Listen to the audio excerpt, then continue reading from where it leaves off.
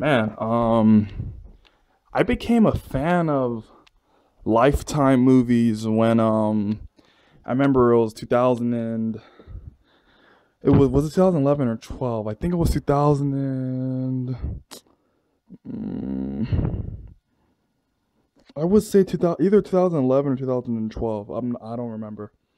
Um, I think I believe it was 2011, like around August or September. Uh, could have been October, but um, I think it was I think it was August or September. I'm not sure, but um, or it could have been October. I'm, I don't remember. But um, I remember we were flipping through the channels, and um, we landed um, I forgot who it was. I don't know if it was my brother or sister, but um, they landed one of one of them landed on Lifetime, and um, I was like, oh no, don't change it. It's that one movie I watched when I was in uh high school. You know, like I was freshman in high school, like for sex ed. It was uh this girl gets syphilis and. You know, like everybody, like she loses her friends, and her friends are like getting syphilis too. And the guy who gave her syphilis is this popular guy who's uh tall and very handsome. And yeah, let's let's let's check it out. So then um we're watching it, and um yeah, and then they were interested in it, like, oh, wow, this movie's pretty good. And then the next movie comes on, and I believe we I forgot what what was the next movie that came on, but we watched that one, and then from there we just became a fan of Lifetime movies. I kind of stopped watching Lifetime movies. I would say around like 2014 or 2015. I'll say I thought I stopped watching Lifetime movies around 2015, and um, so yeah, since that since 2011, you know, like we were just really interested in Lifetime movies, and um, I remember our favorite Lifetime movie to watch was uh, Reviving Ophelia, which was that was like my favorite, my one of my I'll say my my I'll say my second favorite. My first favorite is uh, Triple Dog, but um, well, Triple Dog, I guess it wouldn't really count as a well. It was shown, it, it premiered on Lifetime, so I consider it a Lifetime movie, and the you know the way it's filmed and you come on, it's a Lifetime movie, but um, yeah, like since 2011, like around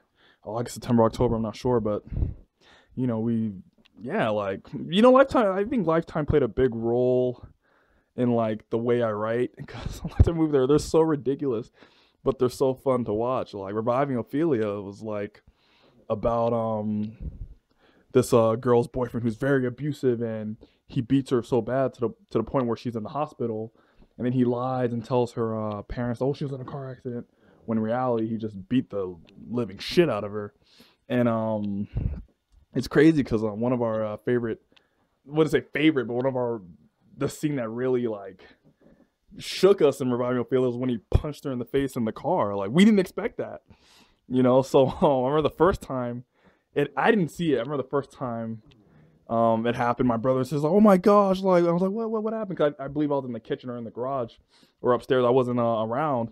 He's, "Oh, he just punched her in the face." I'm like, "What? I missed it."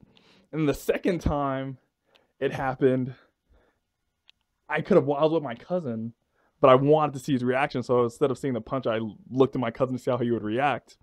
And when she um when she got punched in the face, he like freaked out, and I feel like it was worth it seeing um my cousin reaction. And I and I feel like till still to this day I haven't seen him punch her in the face, but that that's a really great movie. And um Triple Dog as well is a is a great um movie as well.